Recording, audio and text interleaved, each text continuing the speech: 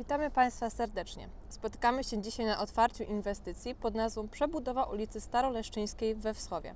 Projekt został zrealizowany w ramach Rządowego Funduszu Rozwoju Dróg, Rządowego Funduszu Inwestycji Lokalnych oraz środków własnych powiatu wschowskiego. Całkowita wartość projektu to 1 965 094 zł i 61 groszy, w tym dofinansowanie ze środków Rządowego Funduszu Rozwoju Dróg 1 064 570 zł, ze środków Rządowego Funduszu Inwestycji Lokalnych 729 459 zł i 64 grosze. Ze środków własnych powiatu wsowskiego 171 064 zł 97 groszy. Proszę o zabranie głosu gospodarza dzisiejszego spotkania, pana starostę Andrzeja Bielawskiego. Szanowni Państwo, kolejny raz spotykamy się na otwarciu przebudowanej drogi, tym razem we Wschowie, na ulica Staroleszczyńska. To już ósma ulica przebudowana we Wschowie w tej kadencji. Bardzo serdecznie, ósma ulica we Wschowie e, przebudowana w tej kadencji. Bardzo serdecznie witam na dzisiejszym spotkaniu wiceprzewodniczącą Rady Powiatu, panią Danutę Płończak. Witam serdecznie członków zarządu powiatu wschowskiego, pana Wojciecha Szadla, pana Tomasza Urbańskiego. Witam radnych, witam pana radnego Krzysztofa Grabkę, witam pana radnego Wojciecha Kuryłę, witam bardzo serdecznie dyrektora Powiatowego Urzędu Pracy we Wschowie, pana Andrzeja Nowickiego. Tak jak wspomniałem, ósma ulica w samej Wschowie, ale powiat wschowski to trzy gminy.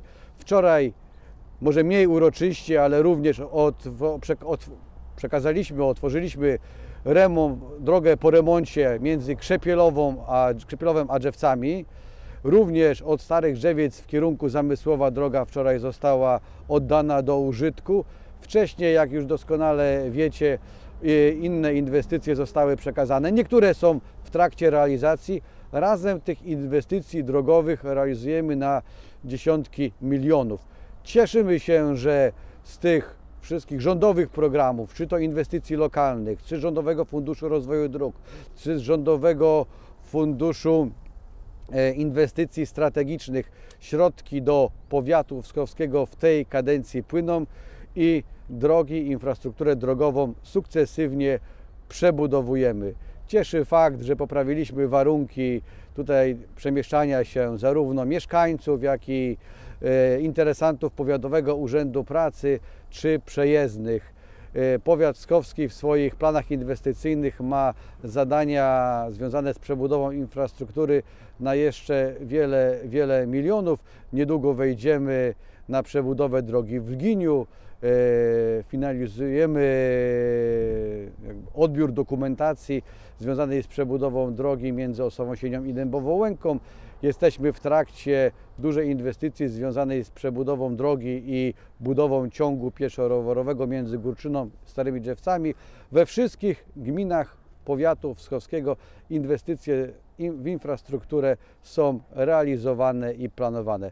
Za to zaangażowanie tutaj dzisiaj chciałem podziękować wszystkim radnym obecnym i tym, którzy dzisiaj nie mogli tutaj nas zaszczycić swoją obecnością, podziękować za to zaangażowanie.